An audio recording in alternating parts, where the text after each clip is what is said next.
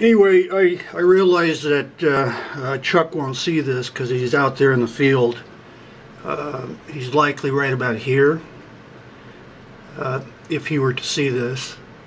But um, anyway, the rock is uh, is more interesting than people think because first of all, a lot of people are waiting to see close-ups of that rock that has the symbols on it, which I I believe are erosional. Sandstone and limestone does get funny features like perfect squares and uh, things like that.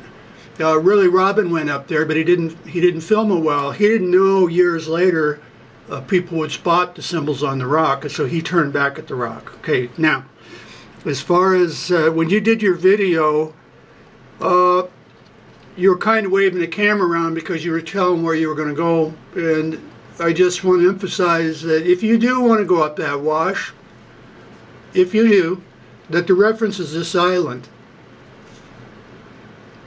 Um, Warlike Wrath called it a rock wall, but actually it's a mountaintop island, and so the alluvium that is washed down could be considered water, and this is an island sticking up above the water just like Hawaii.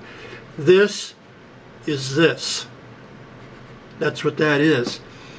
And so uh, I know you know where you're going, but the reference really is this.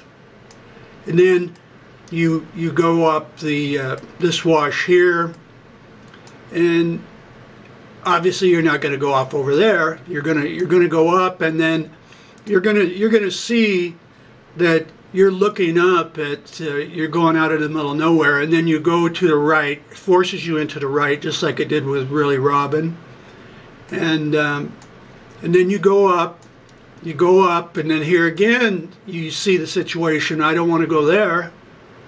So it forces you to the right and you, you go up and up and there's the rock.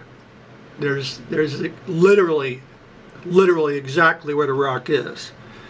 Uh, another as far as Veatch another interesting thing about it is that I'm a strong proponent as a hiker that if a hiker goes missing, they likely were going to points of interest where a person will go if you were out there hiking, if a person was out there hiking. And so this is a ravine of interest, very, very strong ravine of interest. Do I think he's up there? No. Uh, because as he come back, like if he did an M cave route and come back this way, he could still be fresh. You can do that entire hike with one bottle of water. Uh, he, he could have still been fresh and goes, it's too cold. I'm going to head back. And then he sees this ravine of interest and goes up there. And, and goes up there. Uh, the other thing is that the top is right here. So a person can easily go up and stroll back down, and there you are at Agave Pit 1. Uh, oh, there's the Joe May Guzzler. I thought the Guzzler would be over here. Uh, Agave Pit 1 is, you know, like a mile and a half, two miles up. Uh, but uh, in other words, once a person goes up there, they can easily just stroll on down and then just and just loop back. Uh, Kenny Veatch also would have known that. He also would have known that. Also, a person would get unusual views of uh, uh, Kenny Veatch Canyon, formerly known as um, Joe May canyon or wash, but the the guzzler is right here. Yeah, I didn't know that. Yeah.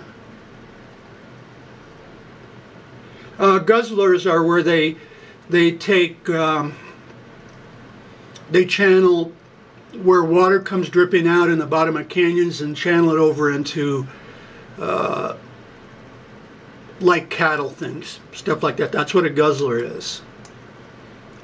Uh, but anyway, no, this, this ravine is of far more interest than uh, people apparently think it is, um, especially going by the rule that uh, if I, anyone, Kenny Veatch, anybody, goes, goes up here, goes over here, goes up there, well, this looks interesting, I'll go do it. Well, also he would have done it. He would have done it. And so this, this, uh, this wash knows major, major interest. And also the thing is that Wrath did a very good video on it, and they're wondering what that goddamn rock uh, looks like if pictures were took up close.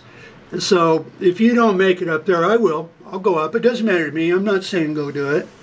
But if, like within a week, if nobody else goes up there, I will.